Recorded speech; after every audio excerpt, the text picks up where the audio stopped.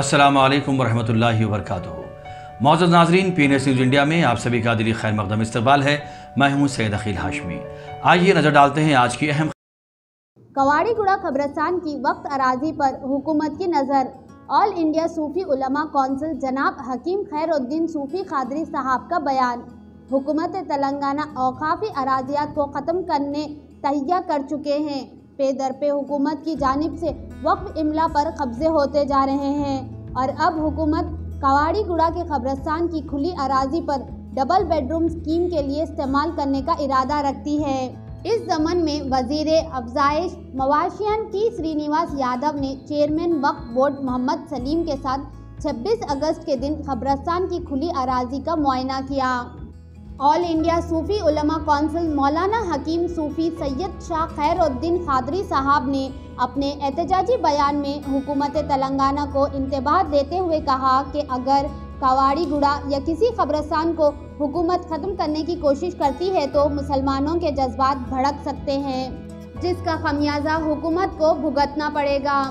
हकीम खैरुद्दीन सूफी साहब ने कहा कि माइनॉरिटी मिनिस्टर कोप्पला ईश्वर साहब उनके मकान एक वक्त के साथ मुलाकात के लिए गए। जनाब डॉक्टर हलाल आज़मी साहब, अब्दुल करीम साहब, आयमा महाजरीन इस मुफत में शामिल है।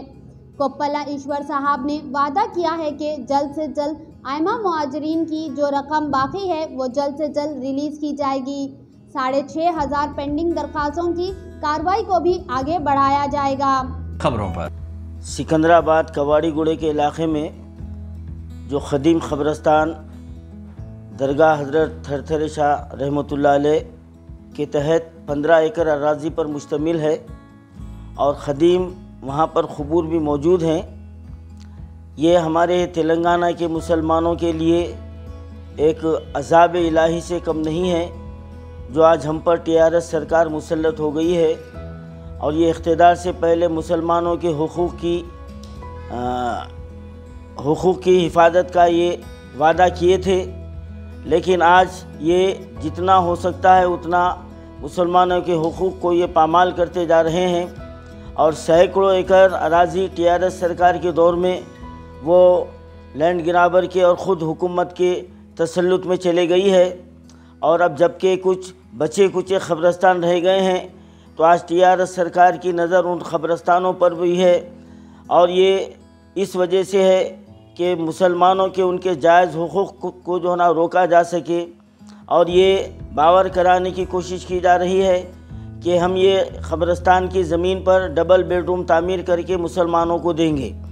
तो मैं टीआरएस सरकार से पूछना चाहता हूँ, क्या मुसलमानों को अलाट करने के लिए खबरस्तानों की ही ज़मीन जो है ना बची हुई है, आपकी नज़र में खटक रही है? इससे पहले जियागोड़े के खबरस्तान के लिए यही हरबा इस्तेमाल किया गया, लेकिन जब उसके लिए एहतजाज किया गया तो बाद रहे, और अब कवाड़ीगुड़े के खबरस्तान में वही खेल खेला जा रहा है, और वज़ी अफजाइश मवशियान टी श्री नवाज़ यादव साहब, जो अपने आप को कल बहुत तीस मार खां बता रहे थे कि मैं तीस साल से हिफाजत कर रहा हूँ। हमारे टी श्री नवाज़ साहब, आप ज़रा अपने औकात में रहिए आप, और अगर आप हिफाजत करते तो वहाँ पर उस ज़मीन पर कोई मकान नाजायज़ नहीं बनता था। ये आपकी सरासर झूठ है और आपके दिल में जो मुसलमानों से दुश्मनी है वो आश्कार हो रही है। आप नहीं चाहते कि बाजू में जो आ, डबल बेडरूम तामीर किए गए हैं उसमें मुसलमानों को दिया जाए। और ये ख़बरस्तान की ज़मीन का शोशा छोड़कर मुसलमानों के हक़ को आप जो ना ख़त्म करने की आपकी ये साजिश है और दर पर्दा आपकी साजिश नहीं, बल्कि टीआरएस सरकार की ये साजिश हमको खुली नज़र आ रही है। और ये टीआरएस सरकार अब इतनी गिर चुकी है कि ख़बरस्तानों को भी जो है ना ये छोड़ने के लिए तैयार नहीं है। अब मुसलमानों को बेदार होने की ज़रूरत है। एक वक्त वो आने वाला है कि जब हमको दफन होने के लिए दो गज़ ज़मीन बाकी नहीं रहेगी। अगर हम के सी आर के झूठे वादों के ऊपर यकीन करते हुए हम इंतज़ार करते चले जाएँ तो हमारे मसाजिद और ये ख़बरस्तानों का ये नामो निशान मिटा सकते हैं और हर तरह से ये मुसलमानों को पसमानदा करते जा रहे हैं। ले दे के एक